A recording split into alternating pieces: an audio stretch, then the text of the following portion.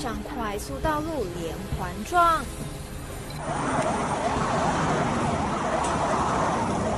啊，好惨！车子撞成这样很严重哎，罪魁祸首就是他。这台红色的耕耘机，它的主人昨天清晨疑似为了抄近路，违规开上云林快速道路，后方蔡姓男子驾驶的小客车没有注意到前方有耕耘机，就这么撞上。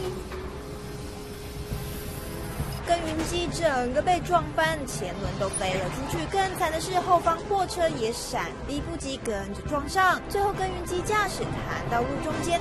客车驾驶被困，好在送医后都没大碍。快速道路不是耕云机来的地方啊！董新闻总报道。